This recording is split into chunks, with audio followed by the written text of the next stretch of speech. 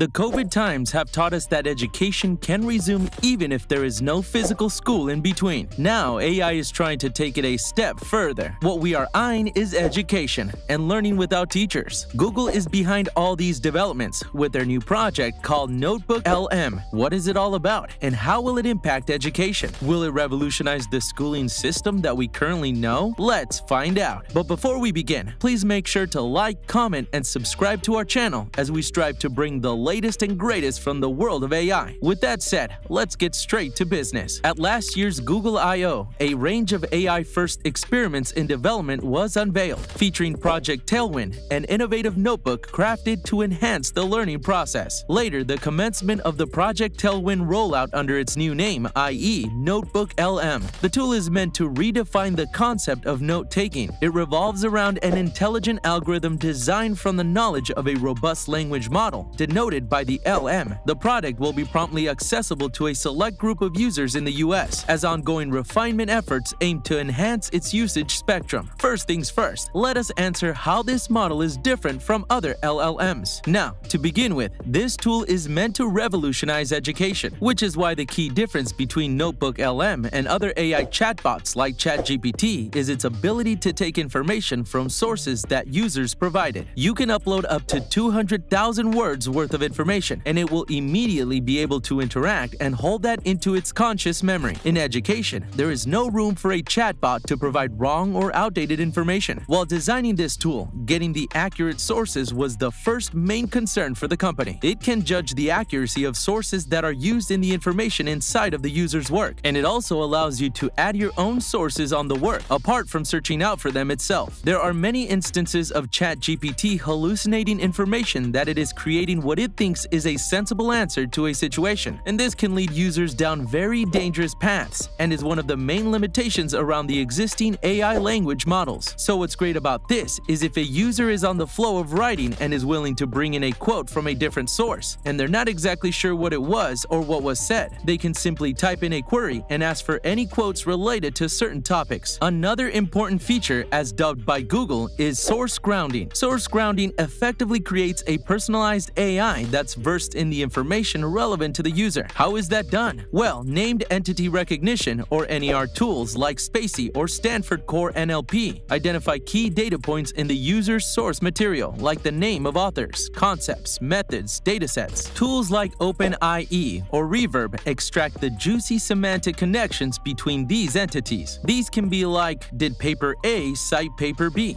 Does experiment X use dataset Y? These relationships become the glue holding the user's prompt and source together. All these entities and relationships are established. They get woven into a knowledge graph, a map of the user's source's semantic landscape. This graph allows the LLM at the back end to navigate the context with ease. Google surely is working to reduce hallucinations, but they explicitly mention on their website that the user should actively review the information provided by the LM to avoid fallacies of any kind. Now, let's jump into the exact take of Google on redefined Notebook LM offers a versatile organizational structure in a notebook format, accommodating a seamless integration of text, code, images, and links. This dynamic workspace facilitates flexible organization and easy referencing, enhancing the efficiency of managing ideas. The platform also allows for the integration of various research materials, such as PDFs, web pages, and videos, streamlining the process by extracting key points and highlighting relevant sections. Education is quite a collaborative task, so keeping that in mind, the tool enables users to share notebooks and collaborate on projects, enhancing joint brainstorming and knowledge sharing. It is important to mention that as of now, collaborative features are still in development, but the potential for enhancing teamwork is promising. The platform finds applications in research and project management, creating writing and brainstorming, personal knowledge management, student learning, and professional note-taking during meetings, conferences, and interviews. Now, if anyone wants to use this tool, he or she is required to join the waitlist. For that, just go to the Notebook LM website and click on the Join the Waitlist button. Clicking on this button will redirect the user to the sign-up form, where he or she can simply add his or her name and email to the list. Once the wait is over, users can add Notebook LM to Google Docs. Once the integration of Google Docs to Notebook LM is successful, the platform can help them generate a summary along with key topics and suggested questions. Not only that, users can ask questions related to the uploaded document documents, allowing for a more thorough explanation. For instance, a medical student can request the creation of a glossary for key terms in a neuroscience article, while an author focusing on a biography might ask for a summary of interactions between Houdini and Conan Doyle from their research notes. Beyond Q&A, Notebook LM proves to be exceptionally valuable for sparking creative ideas. A content creator can upload concepts for new videos and prompt the platform to generate a script, or an entrepreneur seeking funding can upload their pitch and inquire about potential investor questions. All this intelligence arises from the fact that this tool can seamlessly integrate itself with a bigger, wider, larger language. Now, one thing here needs to be clarified. As of its current state, Notebook LM has replaced LaMDA with Gemini Pro. But to explain its working, we are going to stick with the LaMDA's case because the exact working mechanism with Gemini Pro is not yet revealed by Google. LaMDA formerly acted as the background LLM, which we talked about earlier. It is actually the source of words that show up as an output to the user's query. It uses the knowledge graph as its map, traversing it to understand users' prompts in the context of the source they provide. LaMDA's attention mechanism allows it to focus on the different parts of the prompt. It can also append to the source graph, giving it a deeper understanding of the user's intent, which means that if the prompt is tweaked, it understands what it needs to do to compensate for the changed user intent. LaMDA, now on the basis of entities and relationships in the knowledge graph, ensures that the outcome is relevant and grounded in the source. All of this converges to the point where we may say that the final words LaMDA spits out are carefully chosen. According to Google, it also takes into consideration the source's style, tone, and even potential biases to ensure its responses are consistent and believable. Although the internal working might not be drastically different, there are major improvements for the users to enjoy. The new binding with Gemini Pro allows for Gemini Pro's strengths in document understanding and reasoning. The Gemini Pro specifically aces in dealing with data originating from multiple sources. This update allows Notebook LM to create new formats that can be used to transform users' notes into structured documents. All the user has to do is select a set of notes and ask Notebook LM to create something new. To make the process even easier, the platform will automatically suggest formats such as create a study guide or create an outline. Now, as the title of this video suggests, this tool is about to change education forever. Why does Google think like that? Why do we think like that? And why do many experts think like that? To find the answers, let's jump into some studies that highlight changing learning habits. Recent studies indicate a heavy shift in how people access information. The traditional method of thoroughly reading content is being quickly replaced by quickly scanning and skimming through online material. A University College London study highlights the bouncing behavior of digital readers who jump between sources, reflecting a new approach to gathering and interpreting information. This trend is becoming more evident, giving a green signal for the development of AI tools like Notebook LM, which offer swift and comprehensive answers without the need for extensive research or reading. They promote independent thinking, nurture creativity, and empower us to evaluate the validity and quality of the information we encounter. But there are massive drawbacks to this approach of learning. A University of Michigan study reveals that frequent use of autocorrect and predictive text features leads to a decline in spelling proficiency over time. Trusting AI to fix errors and generate text is weakening our natural ability to write effectively and creatively. So, do we even need such tools? The problem with this question is we. These tools are way more directed towards the creator economy rather than schools. The process of creating content and monetizing it is painstaking and involves a lot of research and fact-finding. Creators, as part of their job, must not only produce engaging content, but also ensure its credibility and authenticity. Notebook LM and related tools can support this process, but still, these tools are not a magic wand. They cannot replace the human touch. The discerning eye of a human creator, along with strong reading and writing skills, can add a layer of depth and nuance that AI can't replicate. To conclude this discussion, this tool is not meant to wipe off schools and classrooms. This tool is also not meant for automatic content creation. It is just there to facilitate the process for both use cases. A student can use this tool for additive learning and supplementing his or her understanding. Similarly, a creator can use this tool for organizing, brainstorming, and generating different ideas. Yes, it is a step forward in remote learning, but it is not yet equipped enough to replace the education system we have established after centuries worth of research and hard work. With that, we conclude today's video. Subscribe to AI Symbiosis because we bring the latest and greatest updates from the world of AI. We have made another video on Rabbit's R1 and how it shocked the entire AI industry. To find out what it is all about, click on the video link popping up and we'll see you there. See ya!